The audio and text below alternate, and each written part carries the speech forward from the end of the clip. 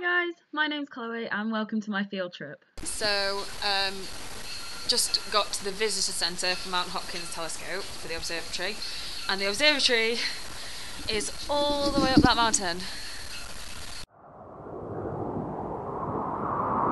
The journey to the Mount Hopkins Whipple Observatory was a rather dangerous one, although there were some incredible views along the way.